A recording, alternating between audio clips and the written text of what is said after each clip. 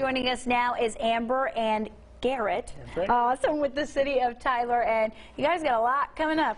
Yes, so much going on in downtown. So we're super excited because this Thursday's already the Christmas parade. Uh, It, this year is flying by so fast. Uh, but hey, uh, Christmas parade, that's going to be fun. Tell us a little bit about it. Yeah, so it will start at 6 p.m. Uh, the closures will start about 4:35. So be prepared when you're thinking about coming to downtown and parking. Uh, we do have the Fair Plaza parking garage located on College and Elm, which will be free parking. So it'll be a great spot for everybody to park. Uh, we have a little bit different route this year. We're going to try something new. So it'll be starting at the Goodman Salvation Army, where it's typically started. But instead of going around the square, it's going to go straight down Broadway. Okay. Yeah, so it'll go straight down Broadway and we'll end at Elm where they'll take um, a right or a left and they'll kind of work their way back up to the Salvation Army. So when you're planning your spot this year, make sure that's in mind. And so right after the parade, there's always that fun stuff that we do on the square. So we'll be doing the tree lighting ceremony where um, we'll have fun things on the square happening, but also downtown patrons will be able to visit our restaurants and everything to have some dinner. Uh, but the real fun thing, also after the parade, make sure you stick around because Liberty Hall is showing Home Alone, the original one from 1990. Uh, so you can go to libertytyler.com to get some tickets. And so it'll be a fun evening. You can eat dinner, watch the parade, and watch a movie. Awesome. Now, can you tell me you guys also have Hit the Bricks coming up as well, right? Yes. Yeah, so Hit the Bricks going to be happening on the 11th. Uh, so it's going to be just activities happening downtown on the square. Uh, so it's just a good time to come out and explore downtown a little bit. Uh, but as you're exploring downtown, we have this thing that we kicked off yesterday. It's a window decorating contest uh, throughout the downtown area. It's the holiday season, so we want to spice it up as much as we can. So how we're doing it is just go onto our Facebook page. We posted it yesterday of all the pictures of the um, windows and decorating and all that stuff.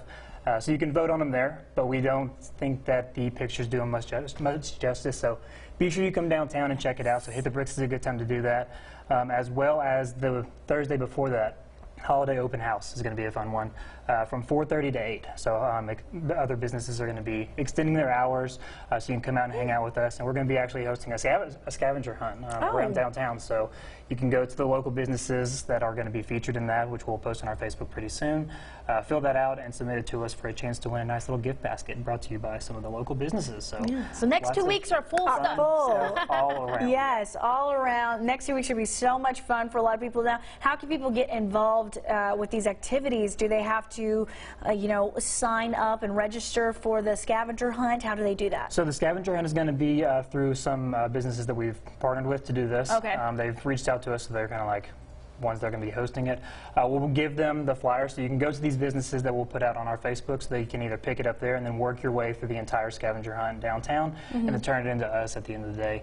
Um, and then we'll kind of go through them, tally them up, and pick a winner. But downtown Tyler, Texas, our Facebook or Instagram is where we'll be posting all this on social media. So in case you don't want a physical copy and work from your phone, you can always check out our Facebook and Instagram for all the up-to-date information. That's awesome. And how can they? Um, when does voting end for the window painting? Because I'm excited to get down there to see that. That is on the 21st. Yeah, so Okay. you've had a little bit of yeah, time. The voting ends on the 21st, and we'll be picking a winner pretty soon after that. So the judges, uh, we're going to have a judges contest, so, so the judges are going to pick some as well, but then we're going to have people's choice, and that's based off of The votes. likes and Yeah, reactions okay. from Facebook. Awesome. Well, sounds like it's going to be a busy two weeks for y'all, Yes. but a very fun two weeks for everyone else. Make sure to check out their website, their Facebook pages to find out more information. Thank you guys so much for coming on. Thank y'all for having us. All right. We